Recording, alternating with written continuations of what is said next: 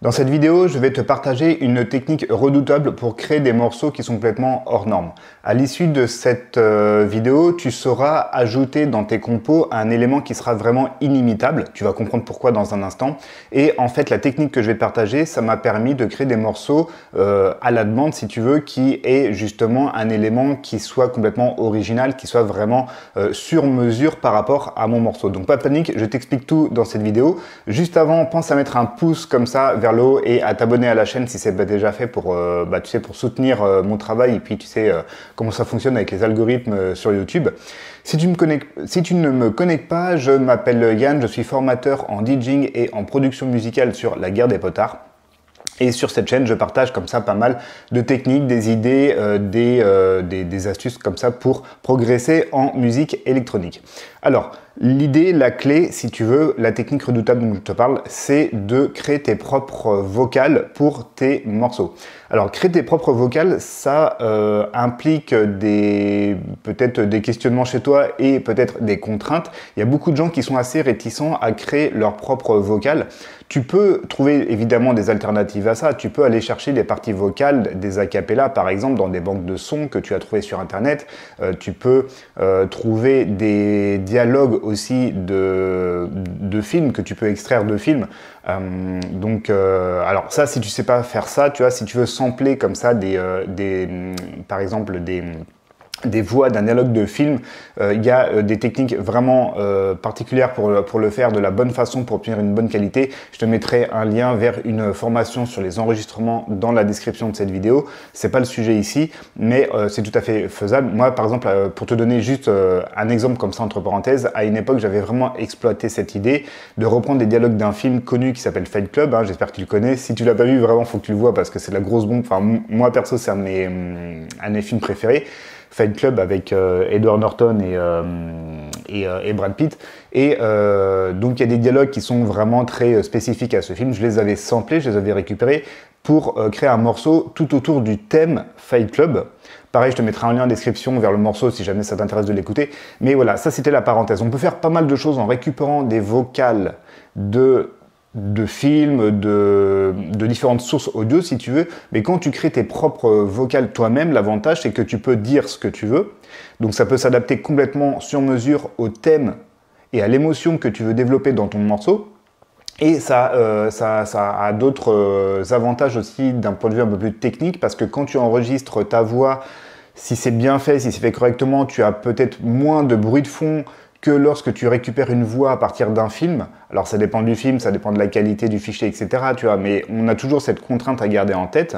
Et euh, il y a d'autres problèmes aussi quand tu récupères une voix qui vient d'une banque de sons, qui vient d'un film ou autre, c'est que euh, tu peux avoir le problème de la, hum, du dialogue qui va être vachement long en une phrase par exemple. Et ça, ça peut être vraiment contraignant à, euh, à intégrer dans un morceau, tu as dans tes arrangements. Alors que quand tu crées tes parties vocales toi-même, alors oui, ça peut être un petit peu délicat, des fois euh, ça, peut être un petit peu contraignant, mais ça, a aussi beaucoup de positifs et, ça peut euh, contourner ces contraintes, par exemple d'avoir une phrase trop longue. Alors là, dans cette vidéo, je vais te partager trois, euh, astuces, si tu veux, pour réussir tes, propres, parties vocales comme ça.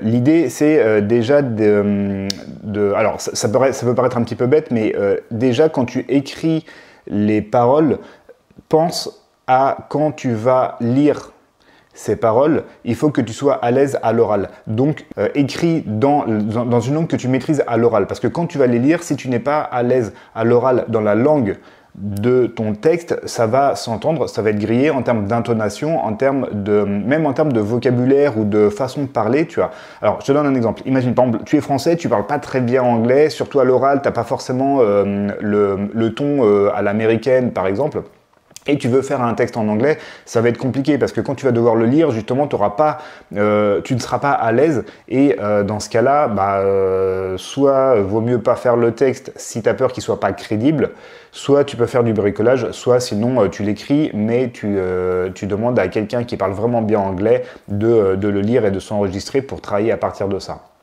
Mais idéalement, si tu veux vraiment tout faire toi-même, tu travailles dans une langue où tu es à l'aise à l'oral.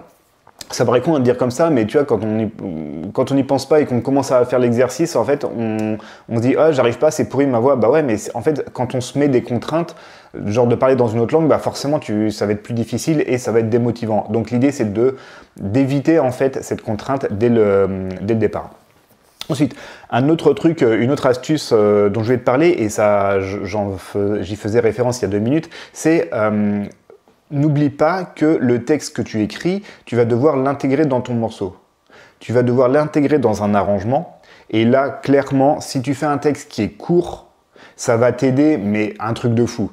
Euh, euh, si tu as un texte qui est très court, alors quand je dis très court, c'est euh, au niveau d'une phrase. Donc fais des phrases qui sont très très courtes. Rien ne t'empêche d'avoir plusieurs phrases les unes après les autres si chacune est courte, ça va te permettre dans ton arrangement d'en mettre une ici, de laisser peut-être un petit peu de temps euh, vide ou euh, de, temps avec de, l'instrumental en arrière-plan par exemple, tu vois, et ensuite de ramener la deuxième voix, de laisser un petit peu de temps, en fait un petit peu de silence, ou euh, juste une partie instrumentale, puis de ramener la troisième voix ou la troisième phrase, si tu préfères, etc. Donc ça te permet de dispatcher dans ton arrangement, en fait, comme ça, tes bouts de texte. Mais à chaque fois, c'est une phrase en un bloc parce que euh, il faut que la phrase en fait reste naturelle au niveau de l'intonation, au niveau de la prononciation. Donc fais des phrases courtes. Vraiment, ça va, ça clairement, ça va vraiment vraiment t'aider dans tes arrangements. Le troisième conseil que je peux te donner là-dessus, c'est d'éditer tes enregistrements dès que tu les as faits. Quand je dis éditer, ça va être juste faire les petits peaufinages, les petits nettoyages qui font que ton enregistrement audio sera nickel et prêt à l'emploi. Donc ça c'est pareil, ça c'est des choses, si tu sais pas comment faire l'édition, tout ça, ça c'est pareil. J'en parle en détail dans la formation sur les enregistrements dont tu auras le lien en description. Et comme toutes mes formations MAO, cette formation est incluse dans la méthode Shuriken. Tu sais, j'en ai beaucoup parlé, la méthode Shuriken, c'est mon gros cursus phare en production musicale pour euh, te faire passer de zéro à producteur autonome en trois mois pour que tu puisses créer tes morceaux de A à Z et les euh, envoyer sur euh, Spotify, sur Beatport, sur les plateformes de streaming et commencer à, générer des revenus comme ça. Donc pareil, voilà, tu auras les liens en description, hein, tu, tu connais la formule. Donc en deux mots, qu'est-ce que c'est Éditer tes enregistrements. Dès que tu as enregistré une partie vocale, qu'est-ce que tu fais? Tu vas couper euh, le, silence avant et après, enfin tout le son que tu n'as pas besoin avant et après ta phrase et euh, tu vas peut-être changer la dynamique. Donc euh, tu vas peut-être mettre un petit, tu vois, s'il y a besoin de compresser un petit peu la, la, voix, tu peux éventuellement le faire tout de suite. Si il faut euh, normaliser le volume de la voix, tu peux le faire à ce moment-là. bref, ça, ça, va être des petites choses comme ça. Ça va être des fondus aussi de volume si c'est nécessaire au début et à la fin de l'enregistrement, de manière à ne pas avoir de clics. Donc bref, toutes ces petites choses en fait. Alors ça, ça, ça doit te prendre, euh, allez, euh, en 20 secondes c'est fait quoi, 20, 20, 20, 30 secondes en fonction de l'enregistrement, mais c'est très rapide. Et je te conseille de le faire tout de suite dès que tu as enregistré, comme ça après tu as la tête libérée, même si éventuellement euh, cet enregistrement c'est pas forcément dit que tu vas l'utiliser à tous les coups. Hein. Peut-être que tu vas faire euh, peut-être 5, 6, 7 enregistrements et que sur les 7 enregistrements, tu vas vraiment en, utiliser que 3 dans ta compo. Peu importe. Édite-les tout de suite. Comme ça, tu es sûr comment tu travailles avec de la matière première de qualité dans tes compos. Et après, quand tu fais tes arrangements, tu n'as plus à penser à éditer euh, euh, tes bouts de voix par-ci par-là. Ce sera fait. Ce sera vraiment beaucoup plus simple. Voilà, voilà pour cette vidéo. J'espère que ça t'a plu. Maintenant, dans la description, comme d'hab, je te mets des liens pour aller beaucoup plus loin avec moi en MAO. Tu vas voir, je te mets déjà une ressource qui est totalement offerte. Je t'invite vraiment à t'inscrire. En fait, par email, je vais t'envoyer euh, ce que j'appelle le chaînon manquant en production musicale. C'est euh, ce qui te permet de réunir les techniques, les astuces, toutes les idées que tu as pour tes compos, les bonnes pratiques. Ça fait intervenir également les plugins, les VST, euh, les effets, ça fait intervenir toute ton organisation de travail. Euh, tout ça, c'est réuni en fait dans quelque chose que peu, voire pas beaucoup de formateurs euh, professionnels en musique enseignent. Et moi, c'est ma spécialité, hein. c'est vraiment, ça tourne autour de l'organisation de travail pour créer tes morceaux de A à Z avec une grande facilité.